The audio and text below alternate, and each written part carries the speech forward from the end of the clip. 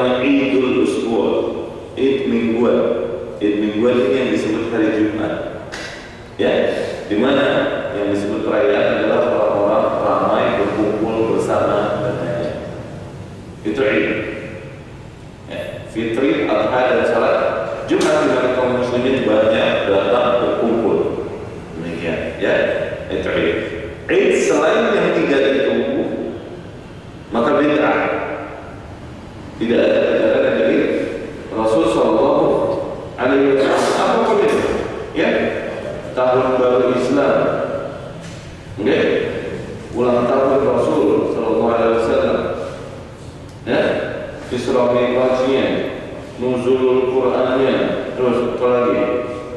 Udah banyak benar itu ya eh, tidak ada yang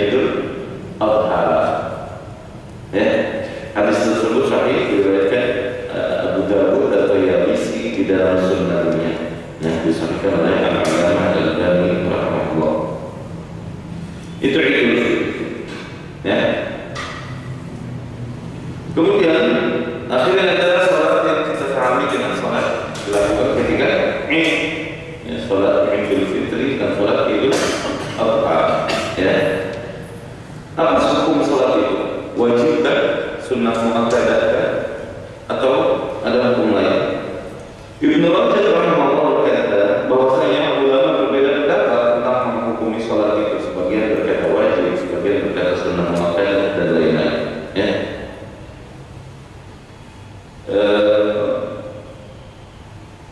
sunnah muakkadah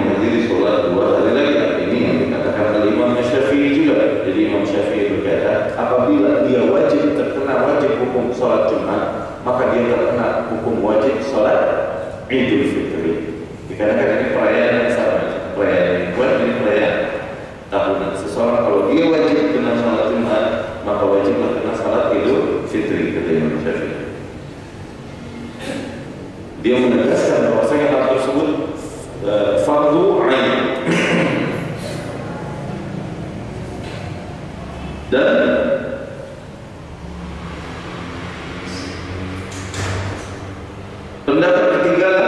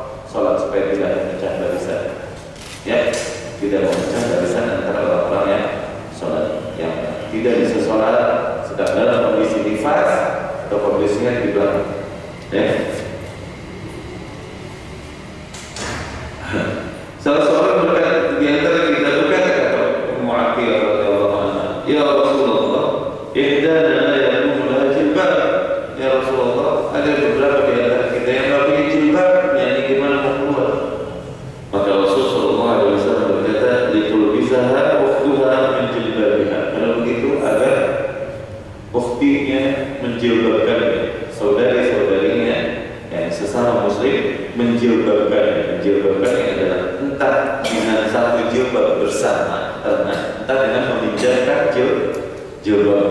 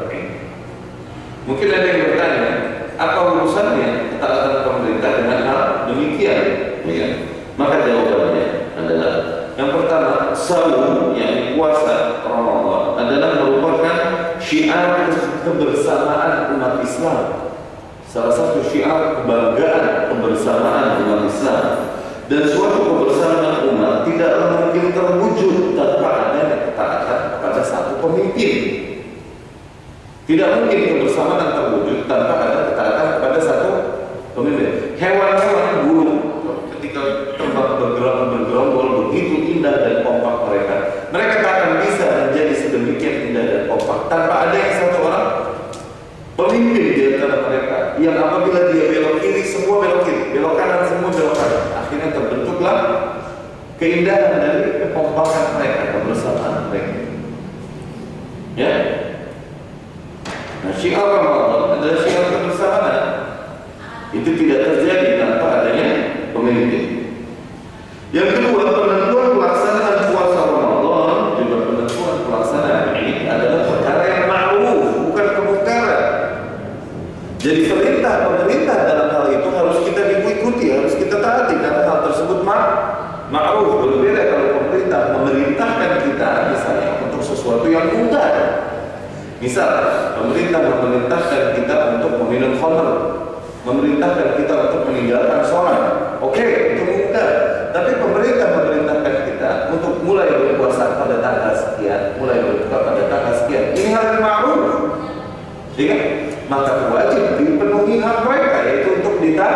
Ditaati karena pada dasarnya tidaklah ditaati pada hal yang sifatnya maksiat kepada Allah selalu saja.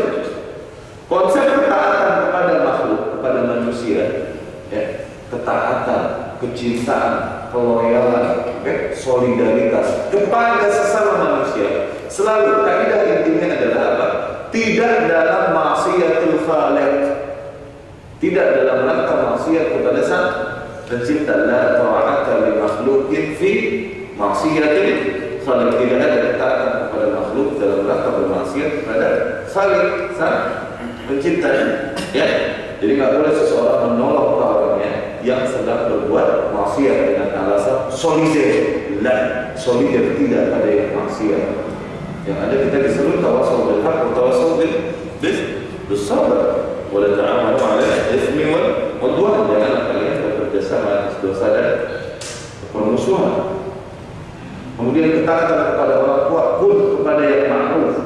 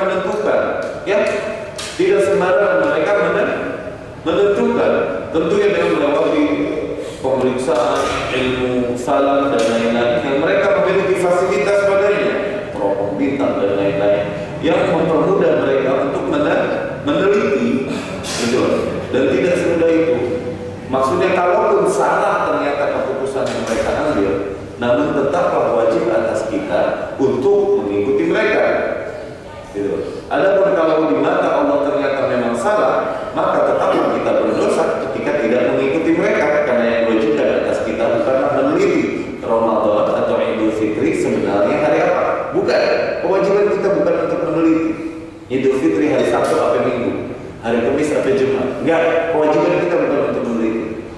Kewajiban kita untuk mentaati pemerintah. Tuh, sering kali ada khususnya kewajiban dari sebagian kaum muslimin yang satu imam jahil, kedua imam mutakabir, sombong,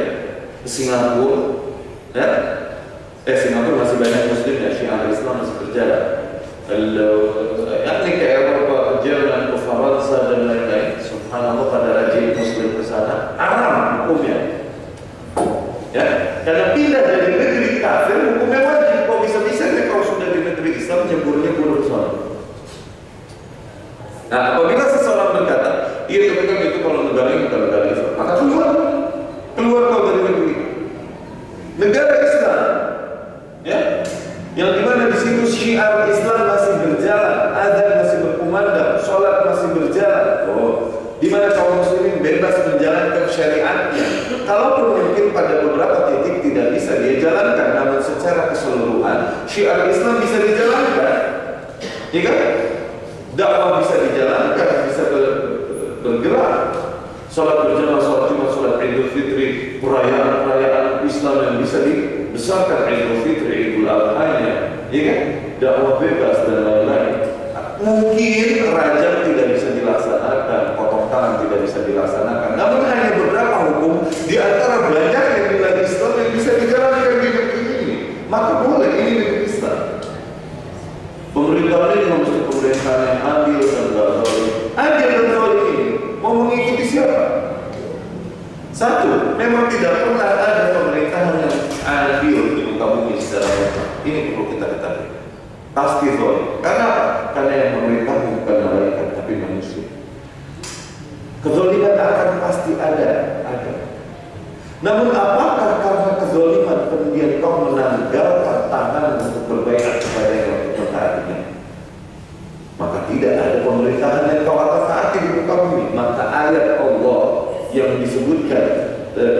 di situ taat di pemimpin di antara kalian kau buang di tempat sampah. Mana itu?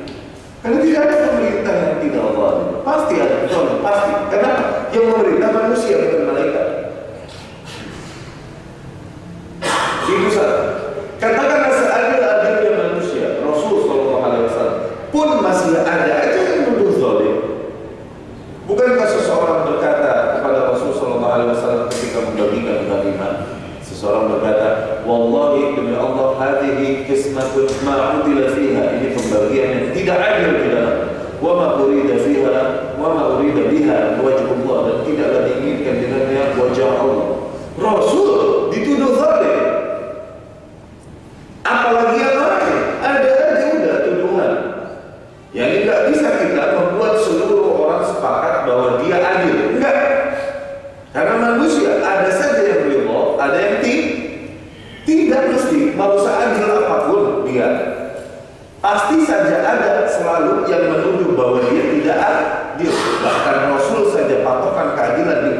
dituduh tidak adil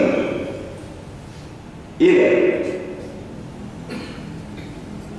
Kenapa? Karena ridho manusia Ridho manusia adalah ghayatun la Tujuan yang tak akan pernah tercapai Ridho nasi ghayatun la tudrak Kata Imam Syafi'i manusia adalah tujuan yang tak akan pernah tercapai Pemerintah seadil apa pun pastilah akan ada tuduhan zalim kepadanya. Kenapa? Satu pemerintah tersebut manusia, kedua dia memerintah manusia yang penuh dengan kezaliman. Pasti akan ada tuduhan.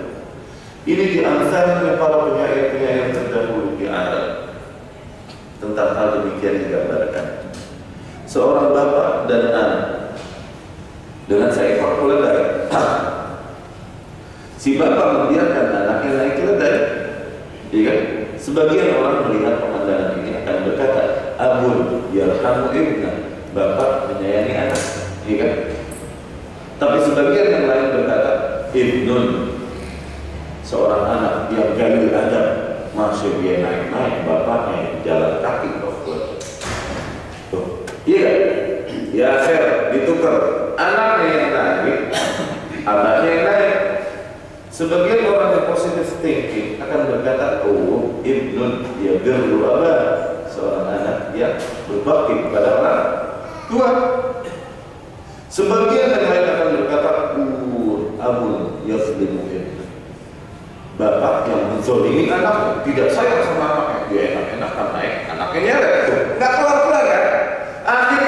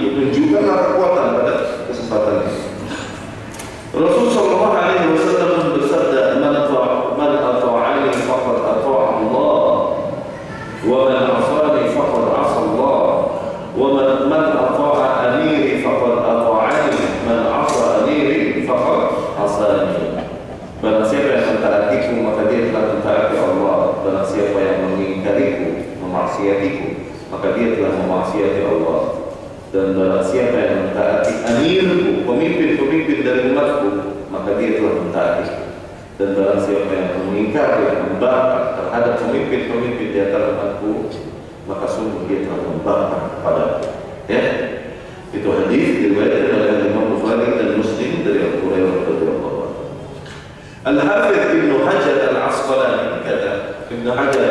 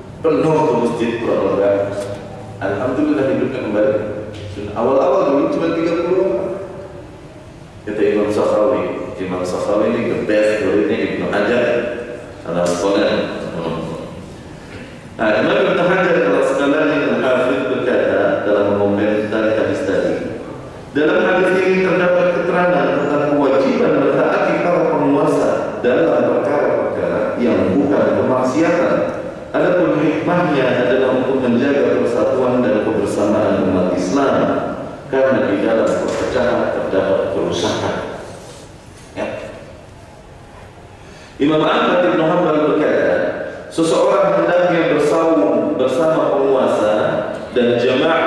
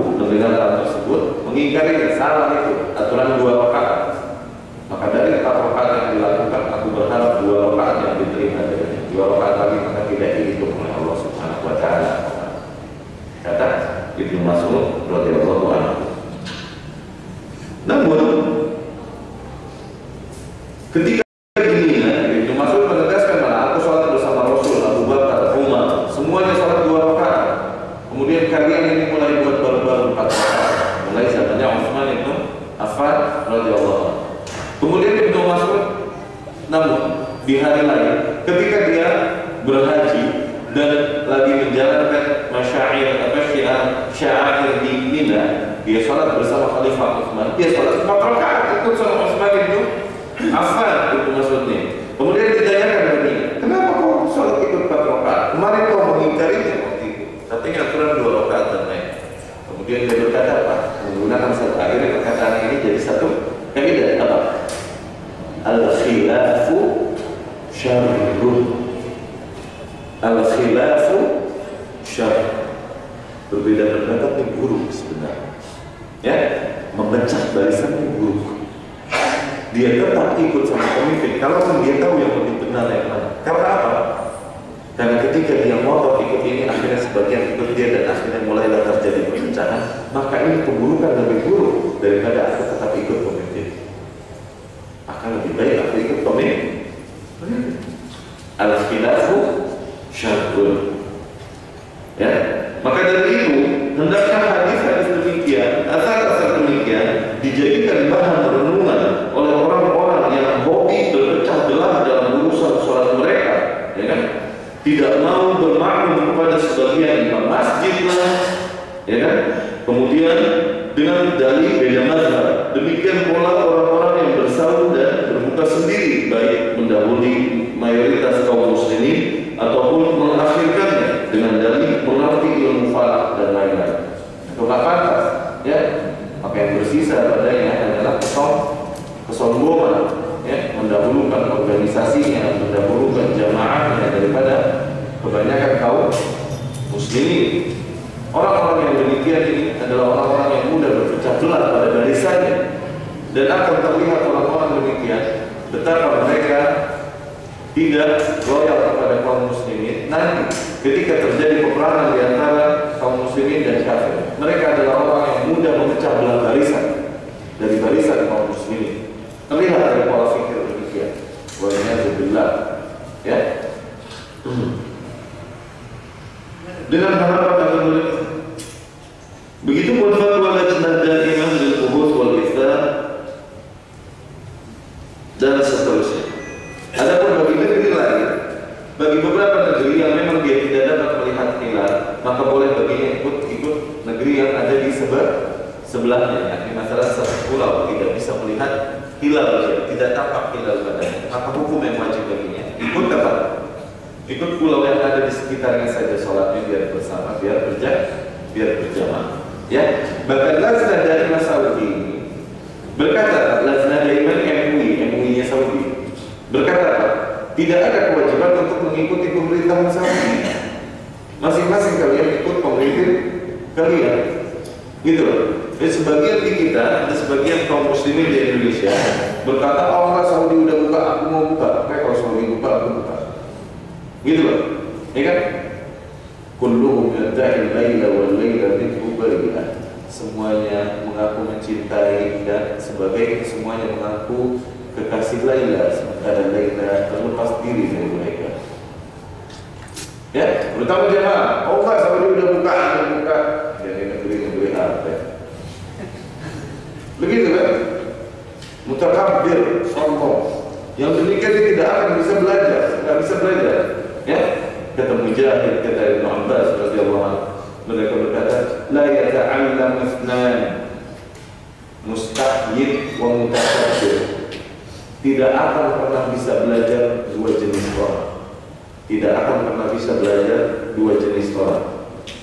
Orang mustahil malu-malu sama mutakabbir, orang yang sombong.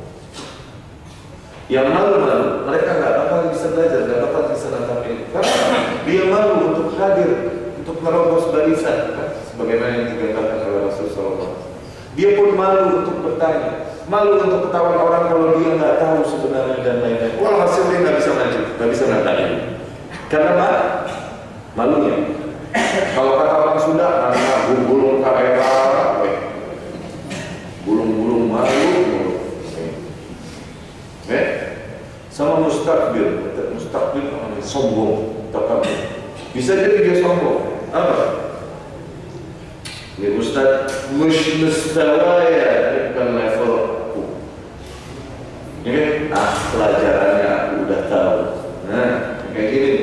Atau terlalu sibuk dengan kesibukan dunia, aduh sibuk nggak sempat. Nah, mutakan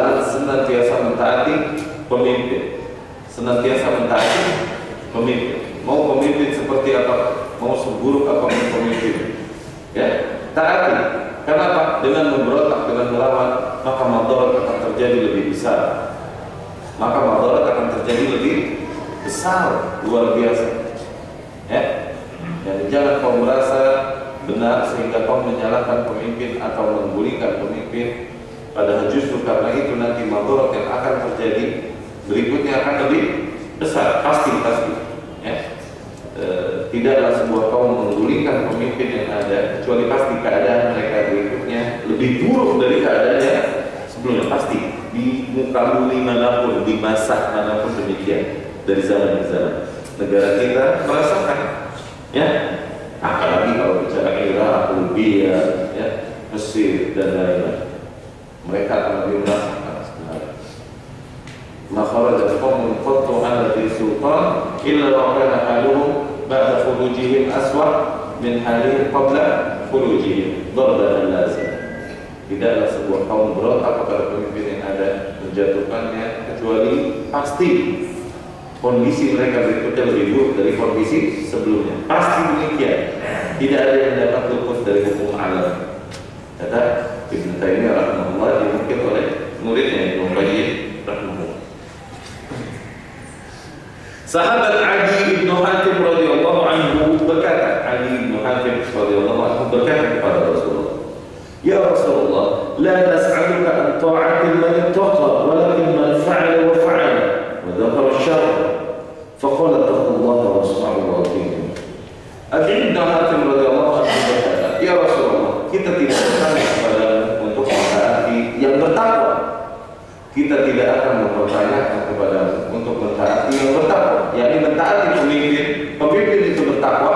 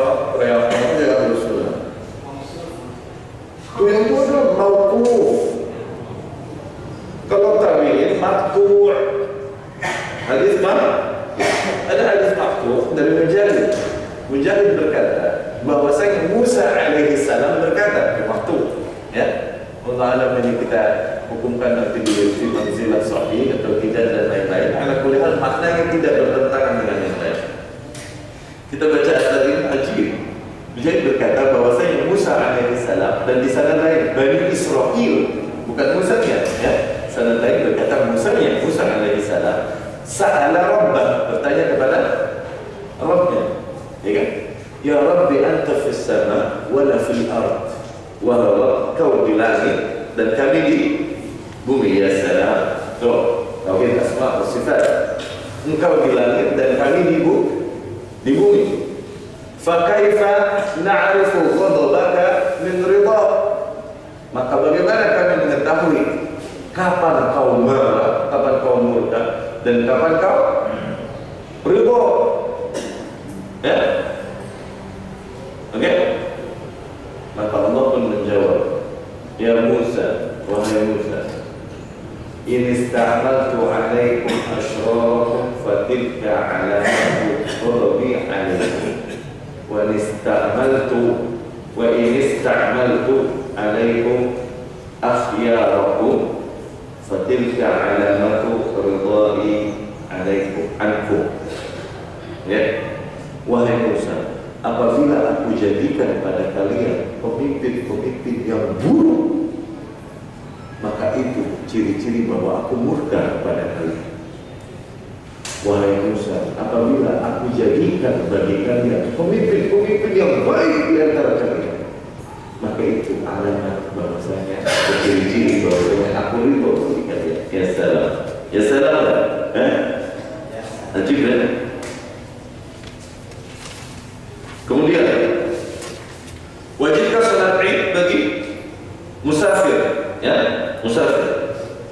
Hal ini juga pernah ditanyakan kepada Ibnu Taimiyah rahimahullah Ahmad Ibnu Abdul Halim. Apakah untuk salat Id disyaratkan eh, disyaratkan pelakunya seorang yang mungkin tidak bepergian? Ya. Maka beliau kemudian menjawab, tentunya ulama berbeda pendapat dalam masalah demikian. Ya. Yang benar tanpa keraguan adalah pendapat yang menyatakan bahwasanya sholat id tidak disyariatkan bagi musafir.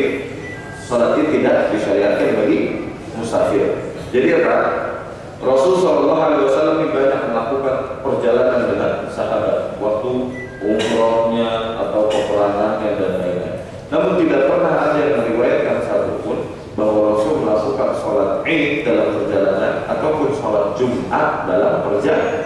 Nah, tidak.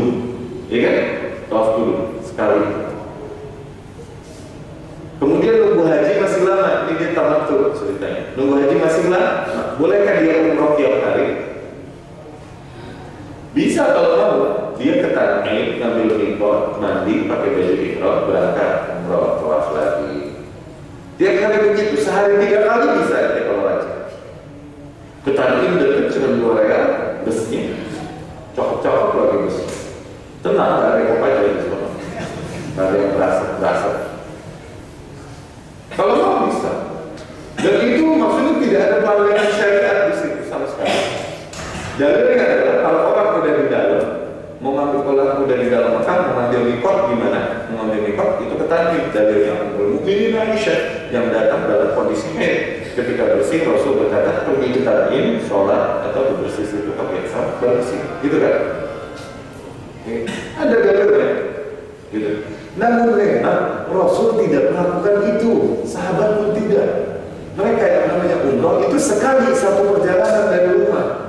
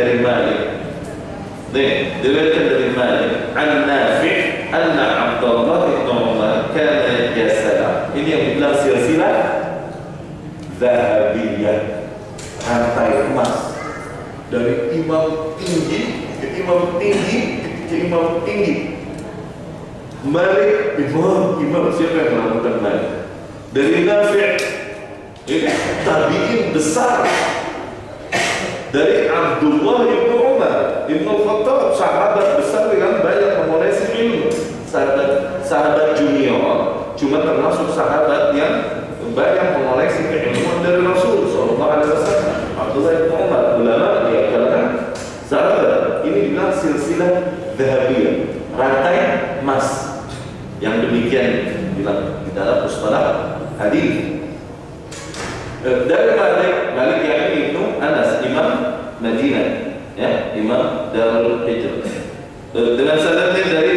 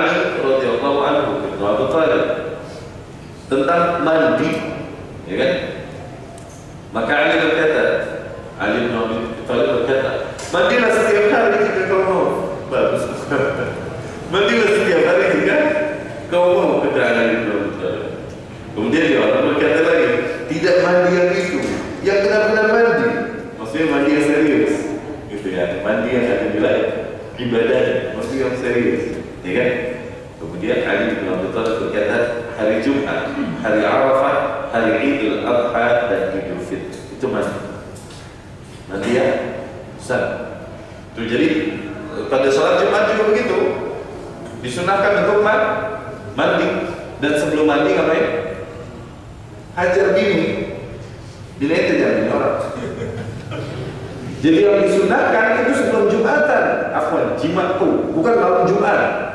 Ini alay-alay kemarin kan ngomongnya oh, malam Jumat ini mau bunuh Yahudi. Dulu tahu. Coba ke Palestina sama Jordan. Kata siapa malam Jumat terus kalau Jumat dapat membunuh Yahudi pahala? So tahu. Ada sebelum Jumatan kalau mau. Rasul Shallallahu Alaihi Wasallam yang di hadis itu, man ghassala wa ihtasala wa bakkara wa? Man ghassala wa ihtasala. Maksudnya apa? Barang siapa yang mandi dan membuat keluarganya menjadi mandi. Maksudnya apa? Menyetubuhi istrinya sehingga wajib atas dia pun untuk mandi. Wa btakara dan pergi buru-buru ke masjid dan mendapat saf di depan. Baru lalu menyebutkan fadilnya dan lain-lain. Itu sunnahnya, ya bukan malam Jumat jadi memakai wewangian lelaki tentunya, ya pada salat Id memakai wewangian, ya. Tuh ya rumahnya contohnya. Kemudian memakai pakaian yang terbaik, yang bagus, tapi bukan dari dari dari bahan yang diharamkan sebagaimana hari sutra, ya. Umar bin Khattab memberikan Rasul Shallallahu Alaihi Wasallam sebuah gamis sutra yang bagus luar biasa. Kemudian dibawakan oleh Rasul Shallallahu kepada Rasul, ya Rasulullah pakai baju ini dalam hari-hari perayaan seperti apa?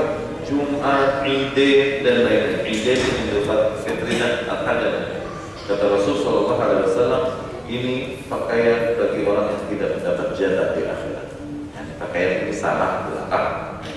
Ibaratnya, ya Nah, ulama berkata, oh ini dalil bolehnya berpakaian atau baiknya berpakaian berpakaian bagus memang di hari-hari pra, perayaan, oke? Tapi bukan juga berarti berpakaian bagus menggunakan bahan atau bentuk atau model yang diharamkan oleh syariat, ya? Bahan yang disyariatkan, bahan yang diharamkan oleh syariat itu seperti sutra untuk lelaki, ya? atau model yang diharapkan oleh syariat atau seperti apa oh, jilbab-jilbab dangdut untuk wanita atau jilbab dangdut kan jilbab biduan yang nyanyi pakai kerudung kan jilbabnya dicekek itu. Itu namanya jilbab dangdut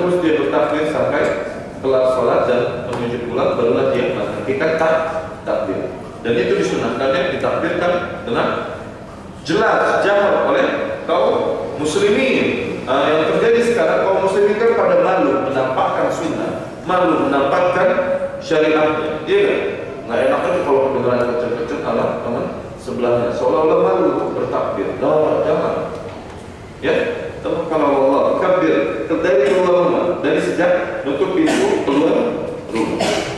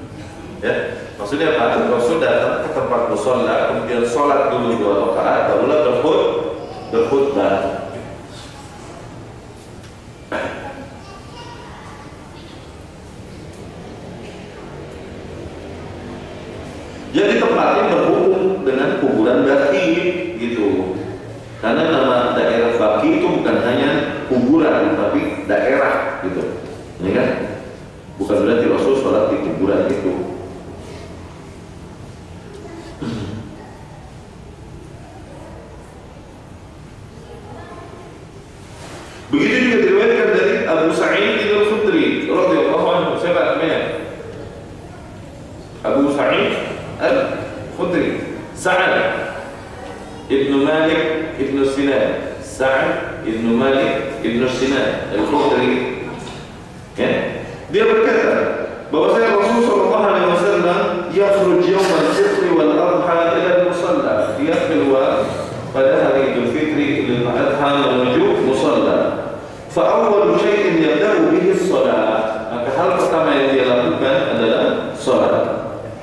Thumma yansarif fa yaqumu muqabila nas. Kemudian dia bergerak menghadap manusia julusun ala sufufihim wan nasu julusun ala sufufihim dan orang-orang pada duduk di barisan-barisan salat mereka. Faya'iduhum wa yusihim kemudian Rasul memberikan nasihat, memberikan pesan wasiat kepada mereka, wa ya'muruhum dan kemudian memerintahkan mereka yang untuk bertakwa, berihsan dan lain-lain. Sebagaimana khutbah فإن كان يريد أن يقطع بعثا قطعه أو يأمر بشيء أمر به ينصرف dan apabila dia pengen memerintah mengutus seseorang untuk pergi maka dia utus setelah itu udah kelar kalau dia mau pergi dia setelah khut khutbah ya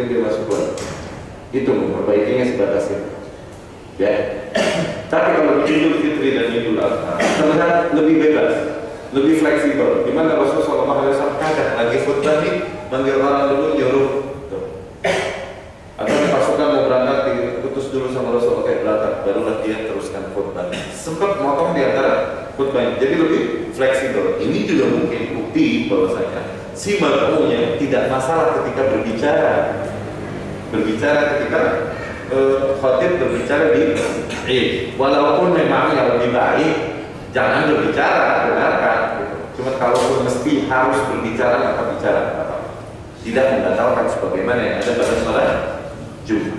Ya dia lebih fleksibel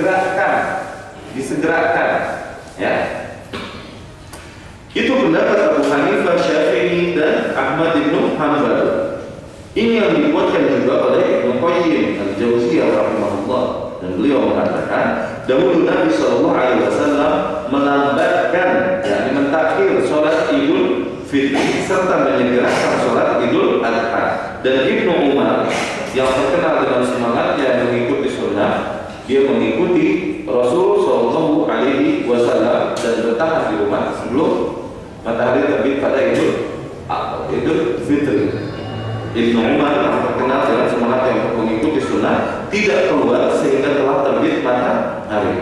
Dan ketika keluar dia bertakbir dari rumahnya menuju musola. Nah hikmahnya kenapa Idul Fitri dilambatkan dan Idul Adha tidak? Hikmahnya adalah dengan melambatkan sholat Idul Fitri maka semakin meluas waktu yang disunahkan untuk mengeluarkan zakat fitrah. Karena zakat fitrah dibayar itu sebelum sholat id, ya. Dan waktu yang ada untuk menyembel menyembeli itu hikmahnya ya.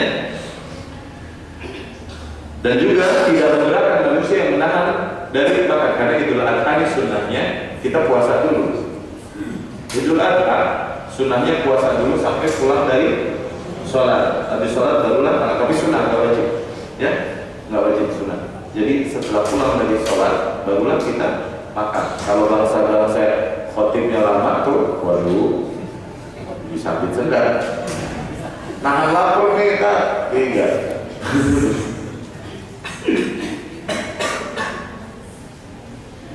Jabir bin Samurah radhiyallahu anhu pun berkata, aku sholat bersama Rasul sallallahu alaihi wasallam pada Idain, pada dua hari raya. Ya. Dan Rasul sallallahu alaihi wasallam sholat tanpa azan, tanpa iqamah. Jadi sunnahnya tanpa azan, tanpa iqamah untuk sholat Idul Fitri dan Idul Adha. Ya, orang-orang yang gemar mengatakan ada yang hasanah. Oke, coba suruh azan, suruh iqamah. Karena mereka mengatakan azan bagus buat azan yang kuping bayi, oke buka tuh bayi baru di terakhir membaca dia. Di azan dia kan dia. Katanya apa? Hasan why not? Mau meninggal azan di hasan not? Mau sholat suruh azan suruh komat coba berani nggak? Dengan dalil